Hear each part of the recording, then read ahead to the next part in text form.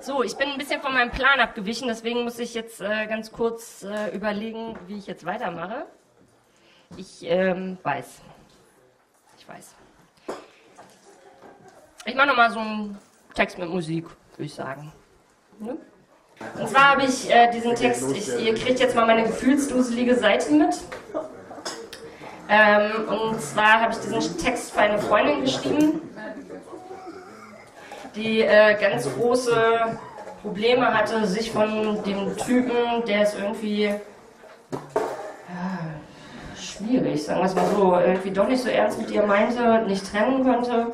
Es ist ja auch immer so dieses typische, das kennt glaube ich jeder, sich nicht lösen zu können und keiner weiß genau, warum eigentlich ist das so. Und äh, dafür habe ich diesen Text geschrieben. Matthias, bitte Musik ab. Wie gesagt, später geht es noch um Sex, keine Angst. Könnt bleiben. Bleibt nicht so.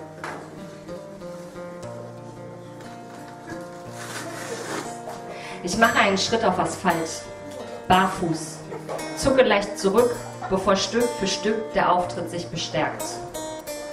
Kleine Sandsteine und Dreckklumpen schmiegen sich zwischen meine Zehen. Es schmerzt und kitzelt zugleich. Jede Berührung mit dem Boden zieht sich durch den Körper. Ich merke, wie sehr ich es brauche. Die Wahrnehmung. Und ich kann nur wahrnehmen, wenn ich etwas spüren kann. Doch mir fehlt das Feedback.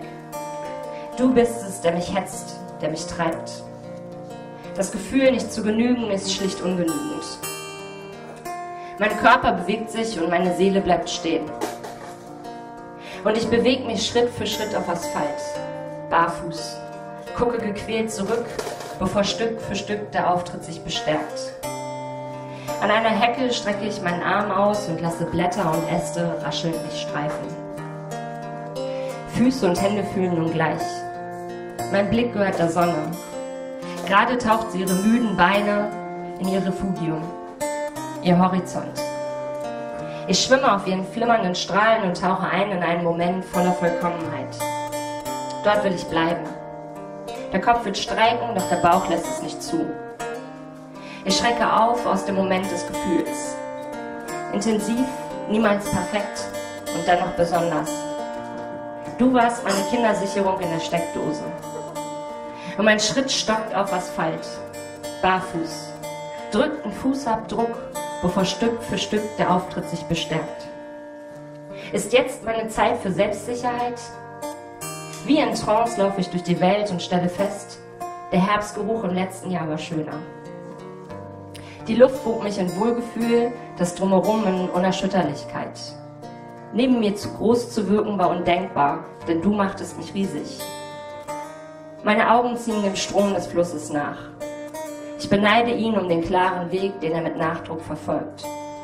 Ohne Zweifel, ohne beirrt zu sein. Buntes Laub rieselt auf mich herab, streichelt meine Wangen und Schultern, bevor es vertrocknet am Boden liegend endet.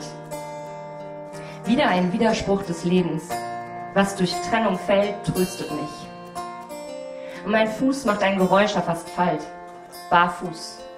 Geduckt, mein Blick verrückt, bevor Stück für Stück der Auftritt sich bestärkt. Ein Schritt in die Tiefe begleitet von Lärm. Der mittlere Bahnsteig gibt meinen Füßen Halt. Ich bleibe standhaft stehen. Von beiden Seiten passieren nicht gleichzeitig U-Bahnen. Der Fahrtwind wirbelt meine Haare umher.